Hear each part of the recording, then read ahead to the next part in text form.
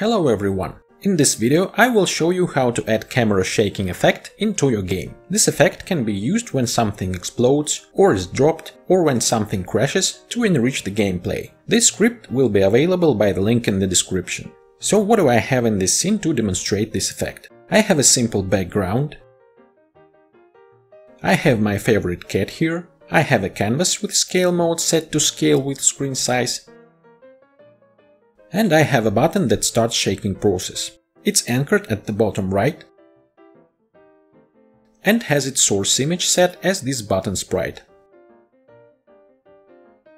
Button's text component is set to shake it and font settings are edited a bit. Next I have camera shaker empty game object that has camera shaking script attached.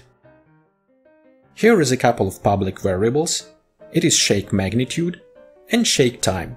And here is a slot for main camera game object, which is shaked during the process. Let's take a look at camera shake script. Here we have camera initial position that camera has before shaking starts.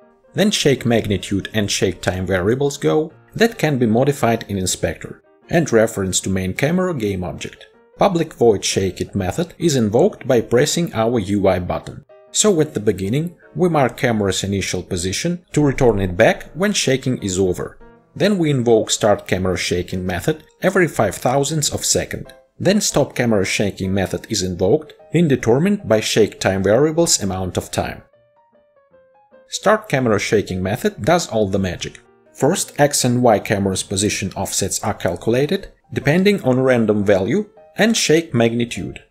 Then camera's intermediate position is marked, and then camera's position is shifted in x and y directions according to calculated offset. When stop camera shaking method is invoked, then start camera shaking method invocation is cancelled, and camera gets its initial position. That's it.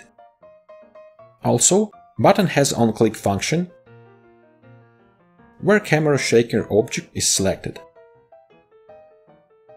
And shake it method is selected from its camera shake script. This is it. Hit play and see how it works. I think it's very simple and quite impressive effect that can really make up your game. Thank you for watching, see you next time.